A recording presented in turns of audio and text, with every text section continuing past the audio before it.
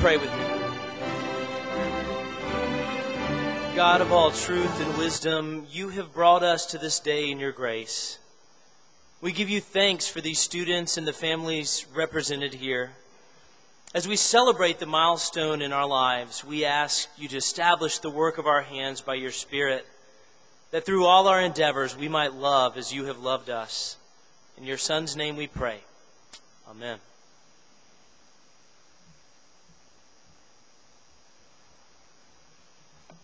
Good afternoon. I'm Dick Merriman. I'm the president of Southwestern College, and it's my pleasure to welcome you to our ceremony this afternoon. Let me take a moment and just say we've had two ceremonies here already today for undergrads with bigger crowds. That's why the room is set this way. If you would rather not sit in the bleachers, if you want to improve your position in life and sit down here on the floor, let's take a minute and let you do that. If anyone would like to move down, please, please help yourself. No takers. Okay. You're happy, I'm happy. Okay. It's good to have you here. It's my pleasure now to introduce Dr. James Shepard, the college provost. He will introduce our speaker for today. Good afternoon.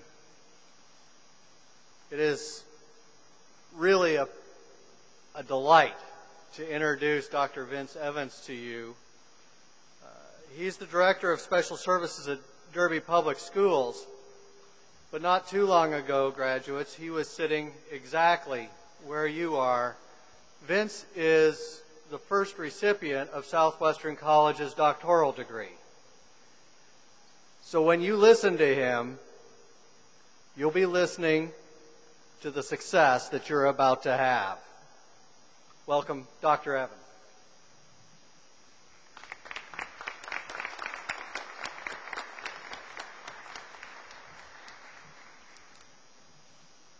No pressure there, right? Good afternoon to everyone. Before I get started, I would like to go ahead and take just a moment to thank all of our family members and friends that have come out to support us today. We are very appreciative of you. And graduates, I need your assistance with this one. So please go ahead and stand up for me. Don't be shy.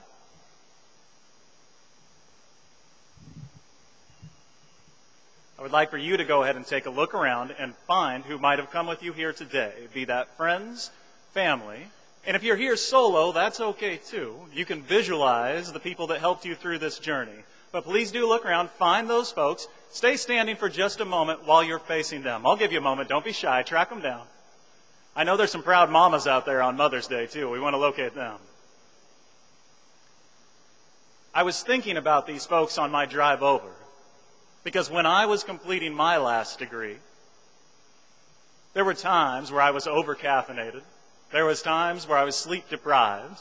There was times when I was up in the middle of the night working on my upteen millionth revision of my dissertation, or at least it felt that way. And my lovely wife, Shonda, who's here today, was supportive of me throughout that process. Even when I was not in the best of moods, she was still there for me. She supported me. She guided me, she loved me, and I know these fine folks have done the same thing for you throughout this process. So, before we move forward, I think that you all owe all these fine folks a round of applause.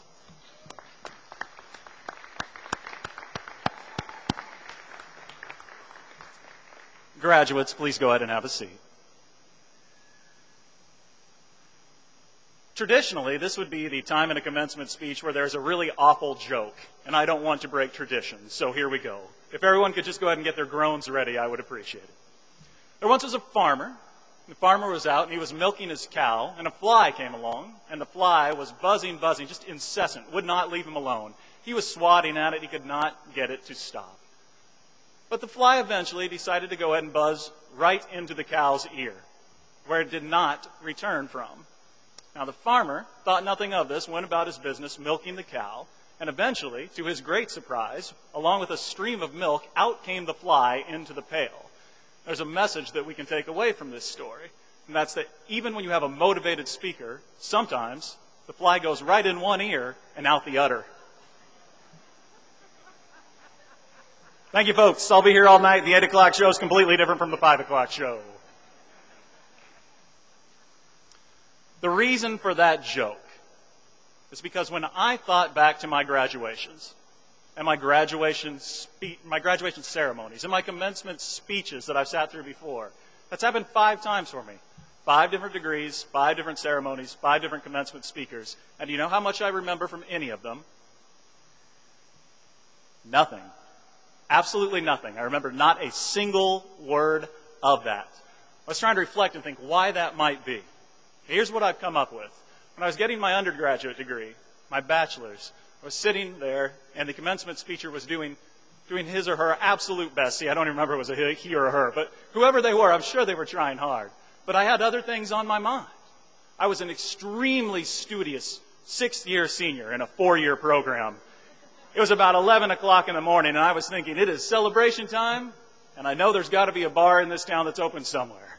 Now, since then, I've matured a little bit, gotten a little older, a little wiser, made some better decisions. But still, during those master's degrees, I don't remember what the commencement speech was. I think during that time, my line of thought was probably, I sure have worked hard through this process. I'm ready for this to be over. I wonder how long this person is going to speak. For those of you out there that are wondering the same thing about me, the answer is not very long. We are nearing completion on this one already. Then there was my doctoral degree, and I remember this one quite well because it happened recently, right in this building, and I remember exactly what I was thinking while the commencement speech was going on. I was thinking in my head, this fine institution has been open since 1885, and I am its very first doctoral graduate. And whatever, whatever happens when I walk across that stage, I cannot trip and fall on my face. And I didn't, and neither will you if you are out there thinking that right now. I've got cat like reflexes. I'll hop on up. I'll get you. You're going to be okay. So let that one go. No fear. I may not have remembered anything that those commencement speaker, speakers said, and you might not remember what I have to say here today. But I would ask you to take just one thing away from this speech. So, does everybody have their listening ears on, graduates? I only want one thing from you. I want you to remember this message You are rich. That has multiple meanings. I've got a couple quick examples. First off, there's a traditional sense that we think of when we think you are rich.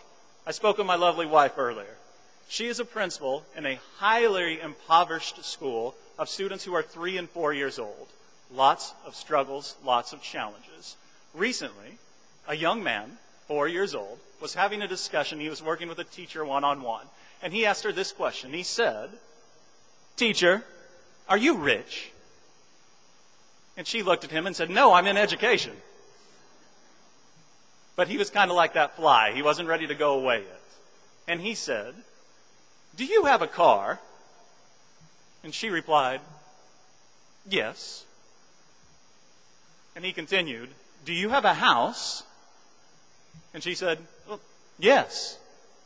And he asked, Do you have food to eat? And she said, Sure, I've got food to eat. And he looked at her and he said, Teacher, you are rich. Out of the mouths of babes. I think sometimes we get stuck in this middle class mindset and mentality and we figure, forget how much better we have it than other people all over this world. Through this process, by earning this degree, I don't know if you realize this yet, but your earning power has increased even more than it already was. You are rich. That's not all rich means to me, though. Recently, I heard a wonderful interview with Chris Rock. And no matter what you think about Chris Rock's comedy, I think we can all agree that he knows a thing or two about being rich. They were interviewing Mr. Rock as he was getting ready for a Broadway show. And they asked him, Chris, what's it mean to you to be rich? And he said, and I'm paraphrasing here, but he said, for me, being rich is not about money. He went on to say, I've worked hard all through my career, and at this point I have choices. I can decide whether I want to do stand up or TV or movies or Broadway shows. I am rich with options. And graduates, whether you realize it or not, you now have additional options in your life. You are rich. I think back to every class I've taken. every bit of information I've gained, every student and professor I've met and added to my network, every diploma that I have earned. It's made me a richer person. Regardless of how you look at it, regardless of the definition, I feel richer. And you leave here today richer as well. You are rich.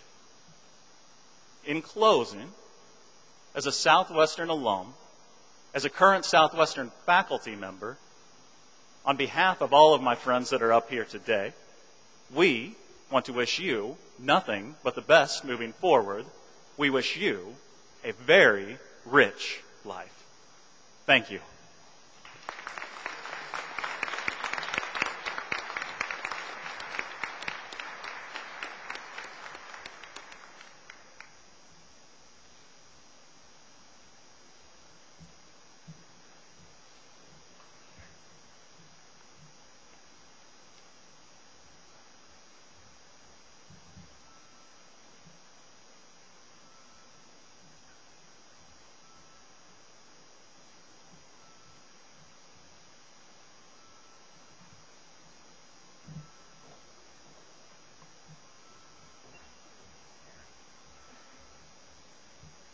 Mr. President, the following candidates have been examined by the faculty and are deemed worthy of admission to a graduate degree. Mr. President, I present Master of Accountancy, Rena Menga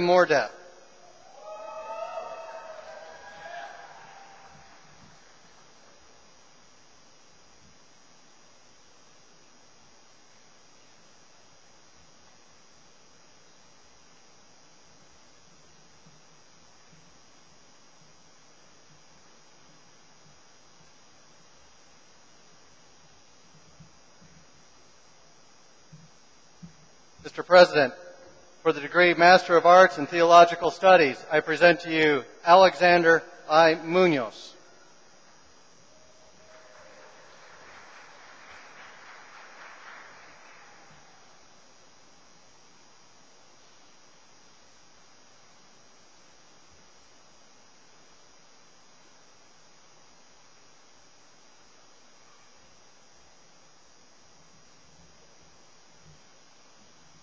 Mr. President, for the degree Master of Business Administration, Nicholas Bradley Morris.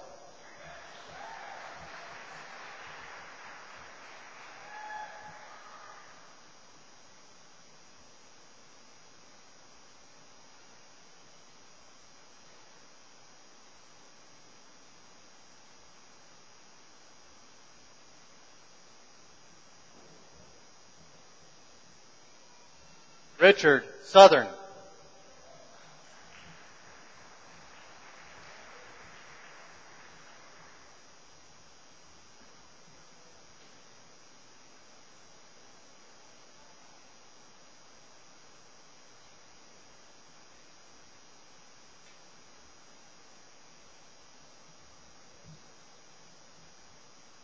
Deborah Ann Jenkins.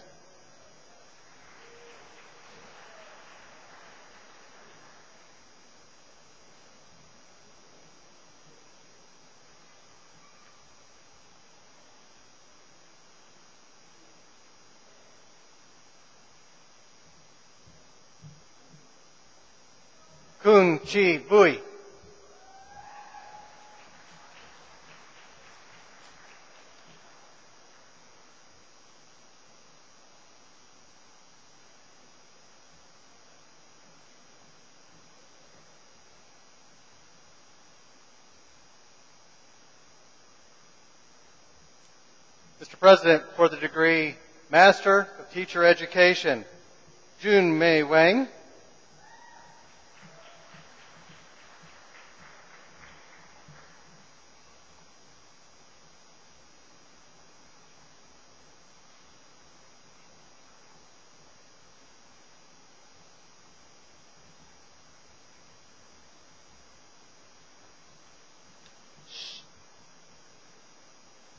Xiao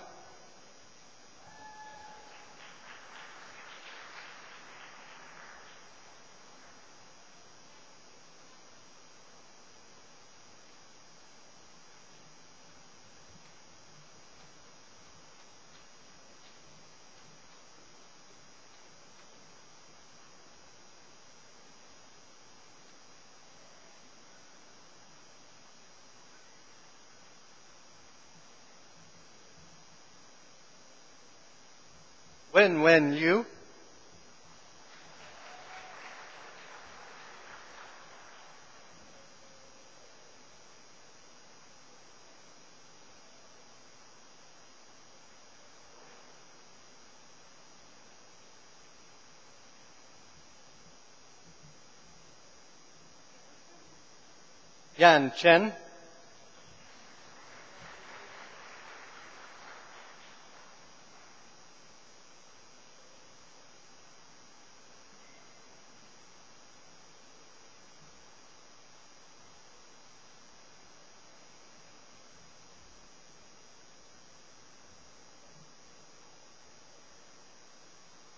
Li Xia Yang.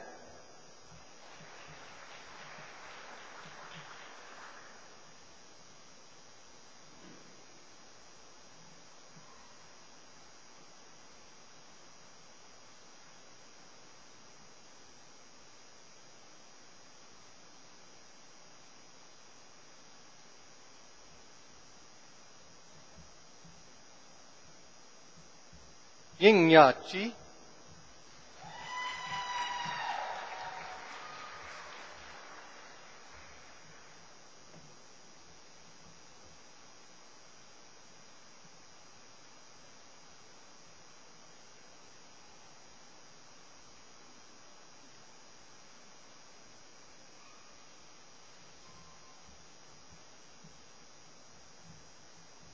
Jacqueline Teresa Helmers.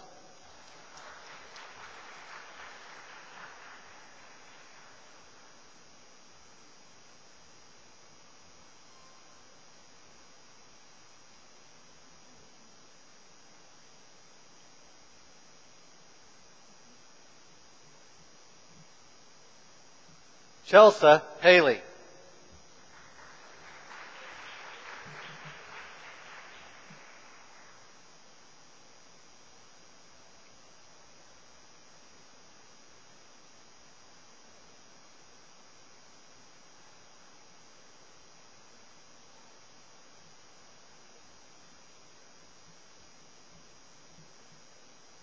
Cassandra Leanne Grieve.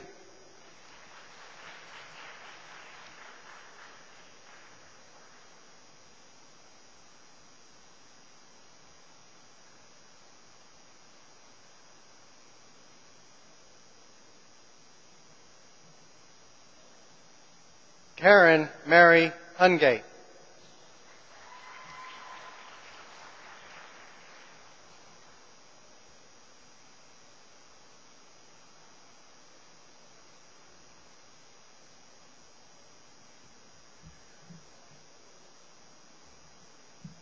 Anna Marie Rollings.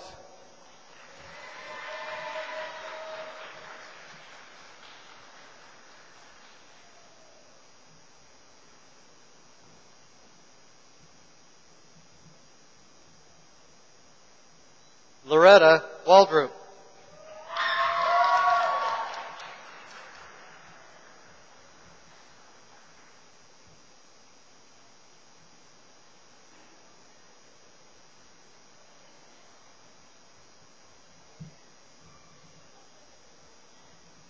Carrie Mount.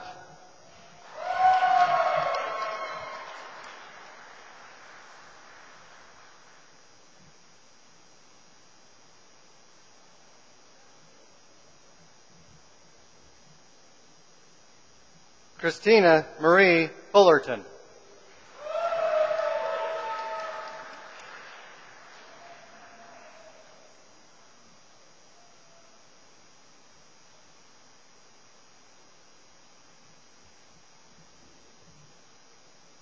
Jan Marie Van Fleet.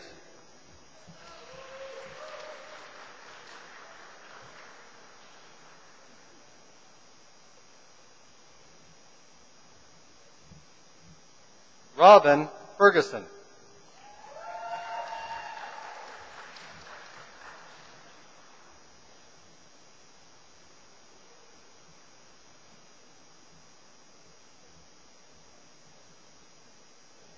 Donna Pearson McClish.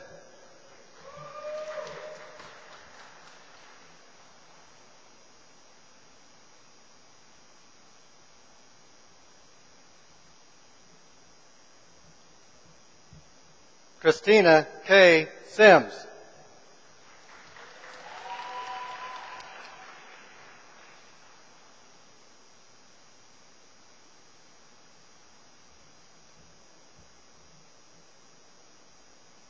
Marisol Demari Santiago.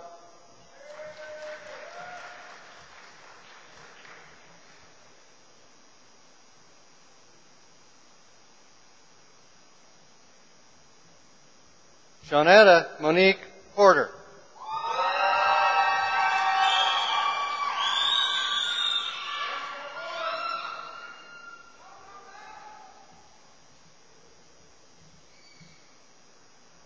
Mr. President, I present to you candidates for the degree Master of Science in Leadership. David A. Pogue.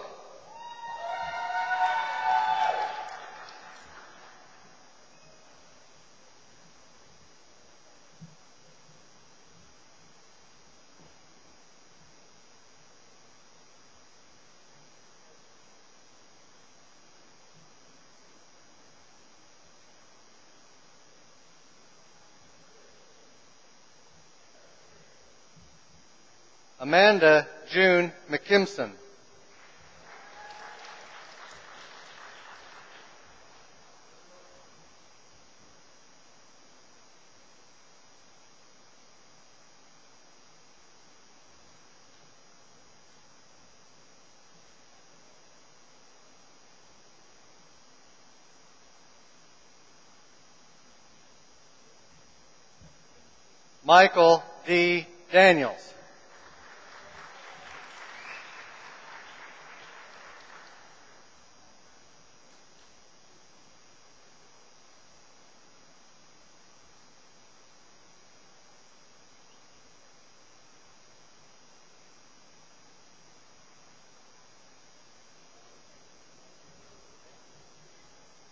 Mr. President, I present to you candidates for the degree Master of Science in Management. Christopher B. Allen.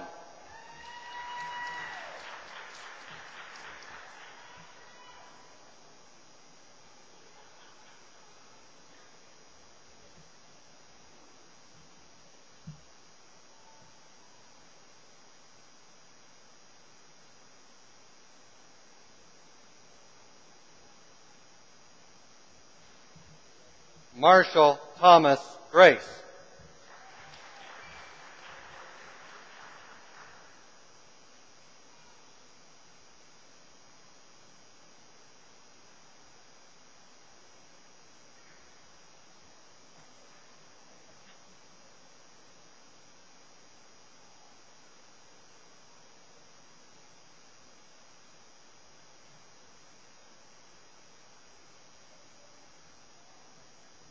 Dale Miller Pratt.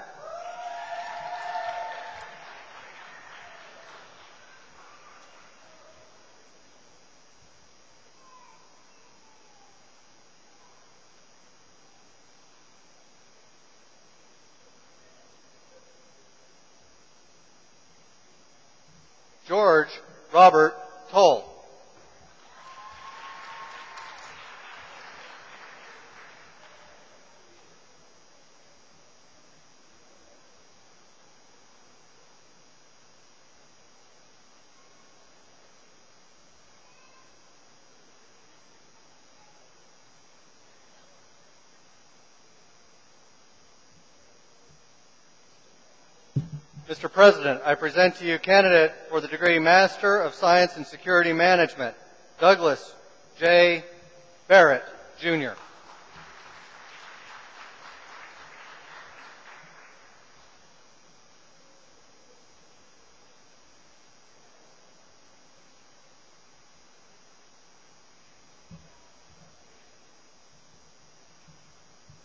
Mr. President, I present to you candidates for the degree Doctorate of Teacher Education.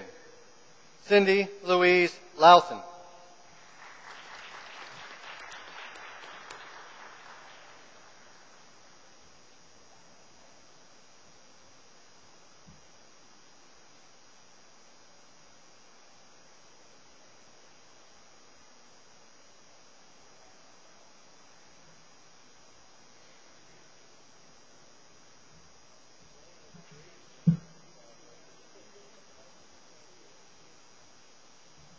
Christine Ann Rodriguez.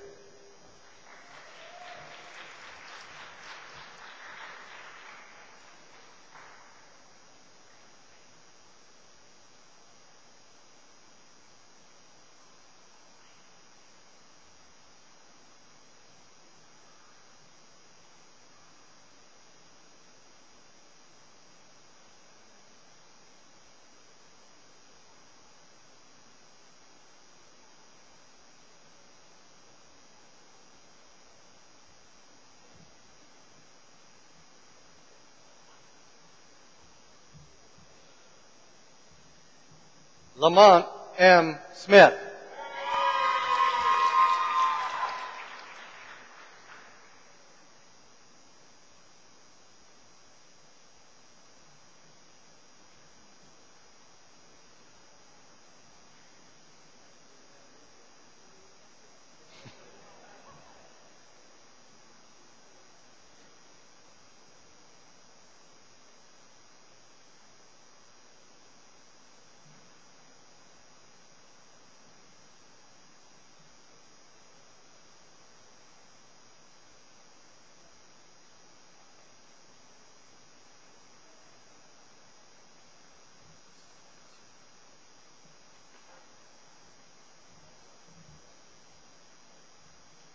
William Harold Wilson.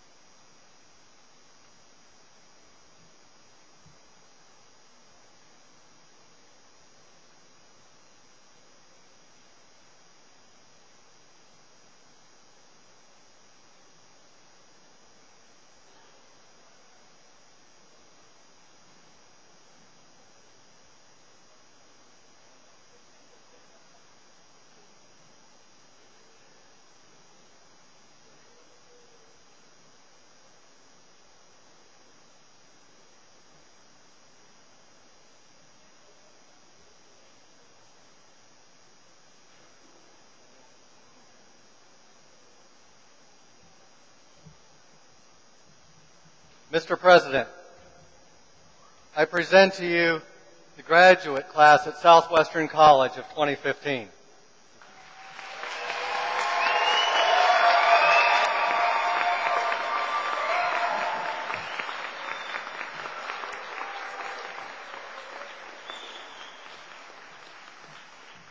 It's a little bigger deal than that. Let's try again. Let's hear it for these graduates.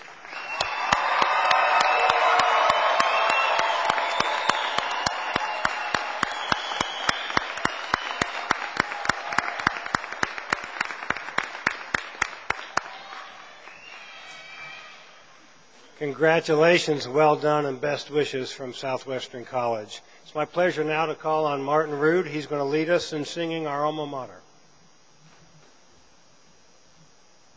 If you'll stand with me, we are rich. We are utterly rich. and rich in tradition. And one of our traditions, and the, the, dearest, is the singing of the alma mater. So if you're not familiar with the words, they're printed. Please join me in singing. Far above the walnut valley, on a lofty height, stands our noble alma mater, bathed in golden light. Lift the chorus, speed it onward,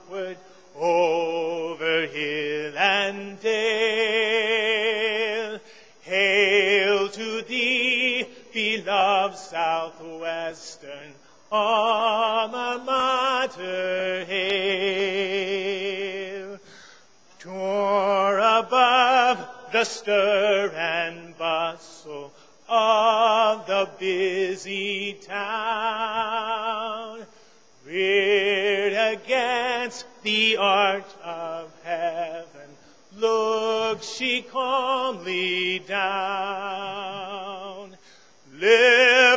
Chorus, speed it onward, over hill and dale. Hail to thee, beloved Southwestern alma mater, hail. To the heights she calls us daily, alma mater dear. Heights of knowledge, hope, and courage, free from doubt and fear. Here we go. Lift the chorus, speed it onward, over hill and dale. Hail to thee, beloved Southwestern alma mater.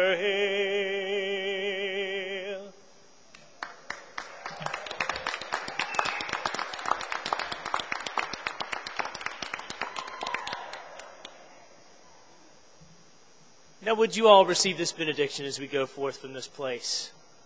May the peace of God, which passes all understanding, keep your hearts and minds in the love and the knowledge of God, and the blessing of God Almighty, the Father, the Son, and the Holy Spirit be among us now and remain with us always. Go in peace. Amen.